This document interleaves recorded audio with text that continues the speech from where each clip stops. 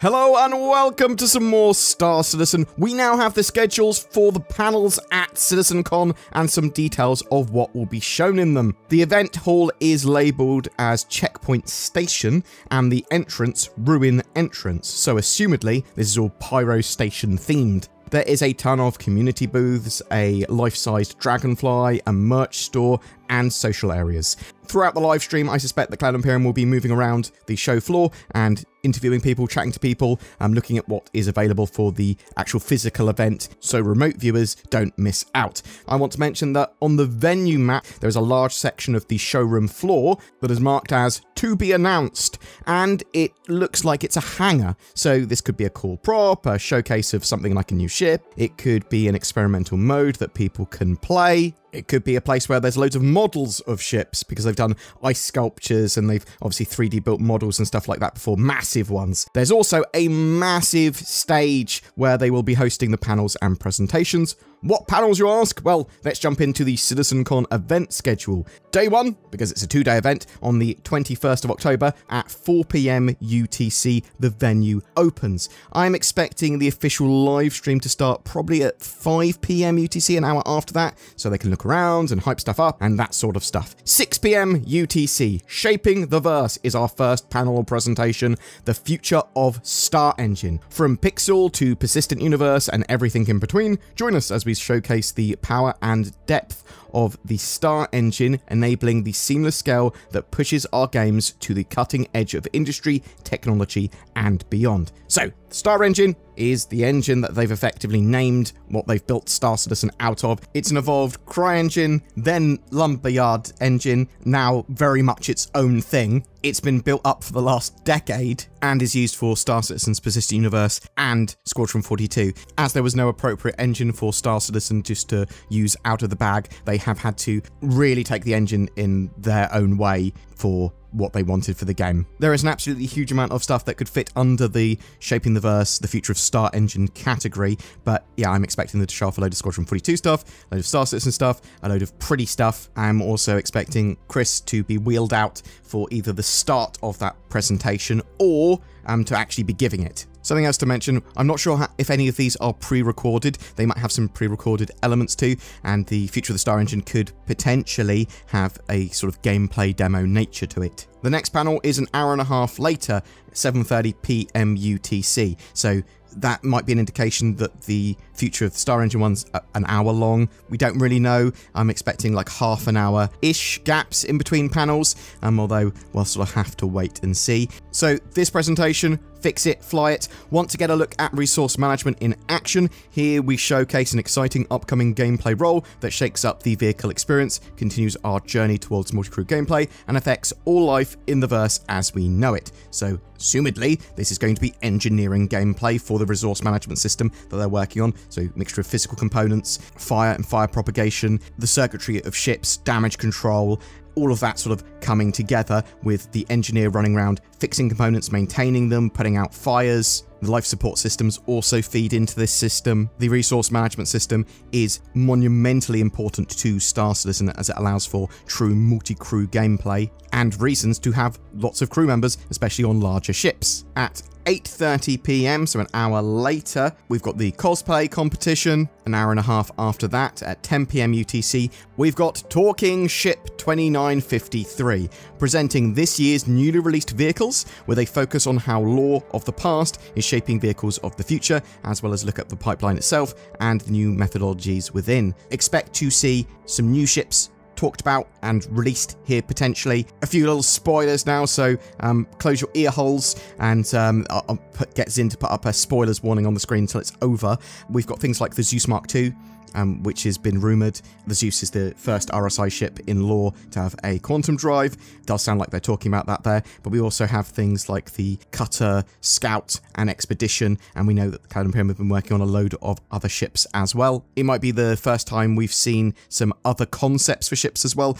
Typically, these panels are pretty good because they'll go, look at how far we are with the Polaris, or something like that, and some other sort of um, ships, like maybe they'll show where they got to with the Banu Merchantman before they moved on to the RSI ships. So expect some new flyable ships, some concept ships, and some updates on ships that you are, might be excited about. 11 pm UTC, Navigating the Universe. Travel with us to the forefront of navigation with a look at the evolution of UI features that help players view, engage, and interact with their surroundings, offering exciting new perspectives on the Star Citizen universe. I am hoping they show off updates to Star Map, um, updates to the mobiGlas maps, mini maps, all that sort of jazz. We know that there's going to be some cool interaction with um, scanning objects and running around and getting more information about objects um, in FPS sort of perspective as well. A lot of these systems are for primarily Squadron 42, but obviously the Persistent Universe and Star Citizen in general as well. But they've been built for sort of the squadron experience. And this is going to lead into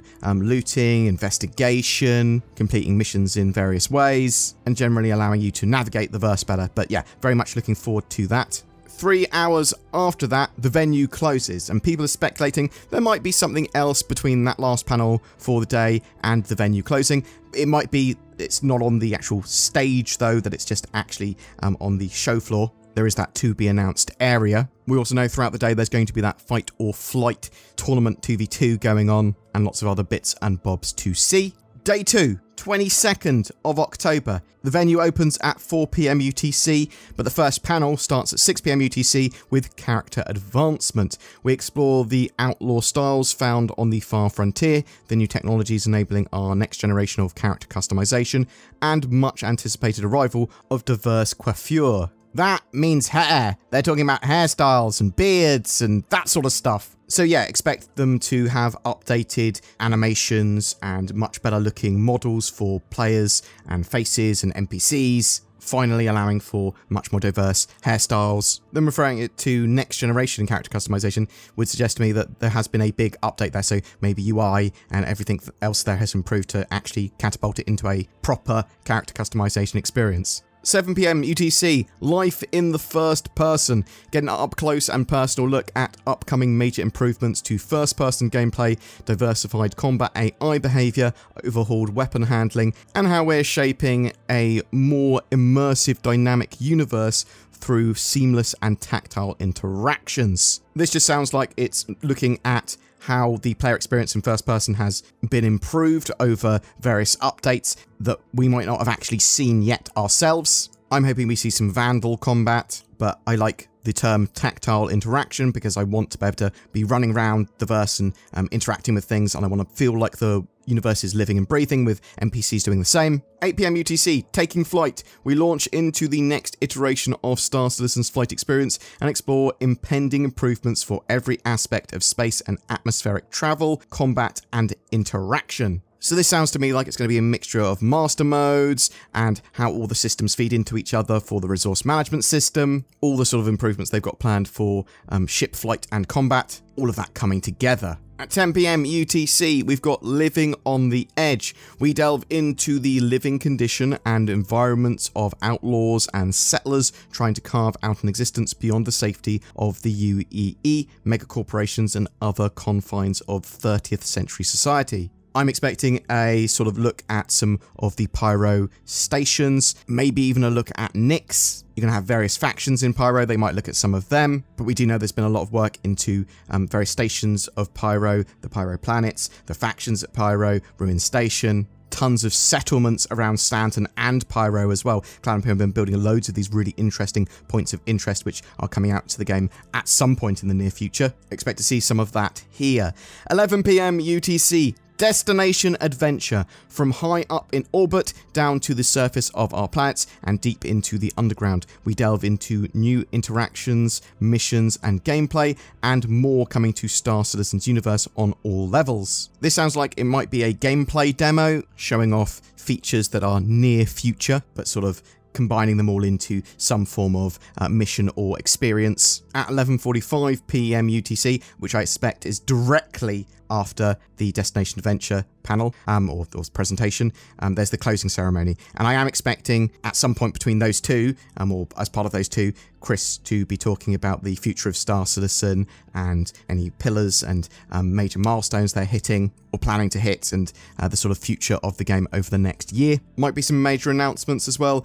Some people are expecting a Squadron 42 release date to be talked about, or something major to do with that. A lot of people expecting Alpha 3.21 to go live at CitizenCon. I do think that's very likely. There's certainly a load of other stuff they could show at CitizenCon or at least talk about or allude to. Boom! That's your Star Citizen, CitizenCon panels and presentations schedule for the 21st and 22nd of October. I am super excited for CitizenCon. I'm really interested to know what of those panels you are excited to see. What do you think they're going to be showing at CitizenCon? What ships do you think are going to be unveiled? Do you think we're going to hear a Squadron 42 Episode 1 release date? Are you attending CitizenCon in person? Do you think we're missing something from CitizenCon? Like, um, do you think there should have been a very specific Squadron 42 panel? Some of these panels are actually quite vague, but could contain things like that. Was there something that you were hoping to hear or see, but it doesn't look like they are going to do that? Whatever your thoughts, I'd love to hear from you in the comments below.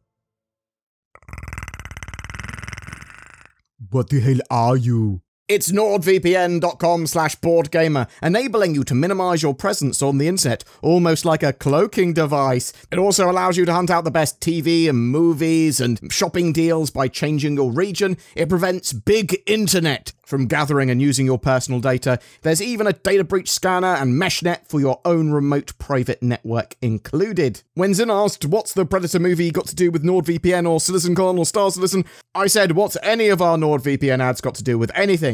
Grab yourself NordVPN in the links below for a seamless, secure internet experience. Every month we have a Star Citizenship giveaway. For October 2023, we are giving away a Constellation Phoenix. This luxury multi-crew ship can be used as a mission runner, an explorer, a base of operations, and more. It comes with a luxury P-72 Archimedes snub, as well as the Lynx rover, allowing you to have on and off planet excursions. Just comment on any of my videos made during the month to be in for a chance of winning that. This is the bit of the video where I appeal to you to try and join the channel memberships and give us money. We have a load of you that are Patreons or have become YouTube channel members with the join button under my videos, and that goes a huge way in helping the channel and enabling us to make daily Star Citizen news entertainment. But there are a load of other ways to help us, liking, commenting, sharing these videos. That helps the channel grow. Thank you for watching to the end. Please get involved in the comments section, and I hope you have a great October.